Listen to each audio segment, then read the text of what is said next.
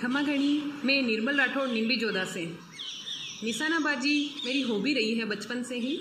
मेरे दादू साह ने हम सब बच्चों को सात आठ साल की थी, तभी से निशाना लगाने की प्रैक्टिस शुरू करवा दी थी। हमारे गढ़ निम्बी जोधा के फोर्ट में गनगौर का फ़ंक्शन होता है हर वर्ष।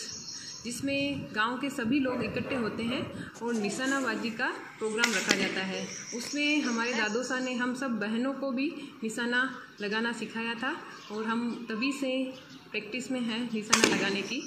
इसीलिए अभी लॉकडाउन में जब फ्री थी, तब मैंने मोबाइल के फ्रंट कैमरा से पीछे की तरफ़ निशाना साधने की कोशिश की, जिसमें मैं थोड़ी बहुत सफल हुई हूँ। मैं मेरी छोटी बेटी को जो पाँच साल की है, उसको भी निशाना लगाना सिखा रही हूँ अभी। मेरा मानना है कि गर्ल्स को सेल्फ डिफेंस आना चाहिए थोड़ा, जिससे जब भी, कभी भी मुसीबत आए, कोई सहयोग नहीं पहुँच सके, तब तक वो अपनी सुरक्षा स्वयं कर सके। इसलिए गर्ल्स को मज़बूत बनाना मेरा उद्देश्य है।